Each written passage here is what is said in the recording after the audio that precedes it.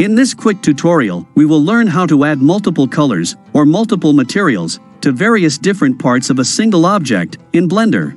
And we will examine this for three different objects with three different shapes. Let us start with a blank new file. Delete this default cube and add a monkey from the Add menu. First, we will add one single material for this entire object. Let us turn on the Material View mode. Then go to the Materials tab. Create a new material. You can select any color in the base color, maybe some light yellow. So, this new material has been applied to this whole object. You can also see that when we added this material, a material got added into this material list called Material 1 for our monkey. In order to add another material to a part of this object, we have to add another material in its material list. So click on this plus icon to get another entry added to this material list. Then create a new material. And like before, we can change the color of this second material, maybe light blue. So now we have two materials in this material list. And then, while this object is selected, let us go to the Edit mode. Turn on the Face Selection mode and deselect everything. Press the Shift key and select only those faces where you want to apply the second material. Then in this list, you have to select the second material, which is already selected here. So just click on this Assign button. Now this second material will be applied on the selected parts.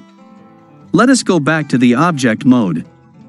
Even at a later point, if we want to change this, we can always modify this material to anything else like this. It will reflect on the object perfectly. Let us now delete this and examine the case with an icosphere. Like before, we will create a new material for this sphere and select some shade of blue color. We will apply a second material to some specific parts. Let us do something different this time. So, while the icosphere is selected, go to the Edit mode. The face selection is already turned on. All the faces are selected here. If not, just press A on your keyboard to select all. And pick up this bevel tool from the toolbox. Then drag this yellow handle slowly down, in order to create a small amount of bevel along the edges. When we create a bevel this way, Blender keeps only the beveled edges selected, so we can apply a different material just for the bevel parts. Let us first create a new entry here, then add a new material, and give it a contrast color, like red. So we have the second material here. Just click on Assign Now. This material is now assigned to the beveled edges.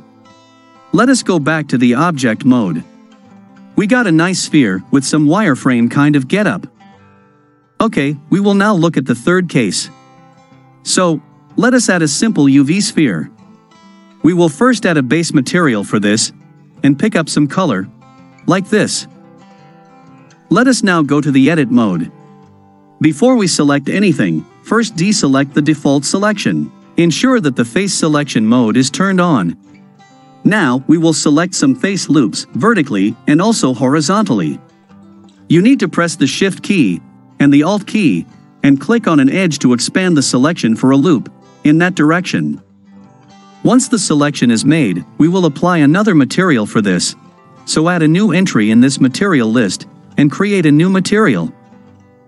We can use any color for this. We can even change other properties here. Let us step up the metallic property. We will now assign this second material for the selected parts of our sphere. So, this way you can add any number of materials to different parts of an object. Let us convert this selection into a metal ring. So, under the Select menu, select the Invert option. Then from the Face menu, select Extrude along normals and resize the red part slightly, just a little bit smaller than the yellow part. Let us now go back to the Object mode. Under the Object menu, select the Shade Smooth option. Then go to the Modifiers tab. Add a Subdivision Surface modifier. Change the levels to 3 or 4. At the end, we have this metal ring structure surrounding the pink ball. But these are discrete parts.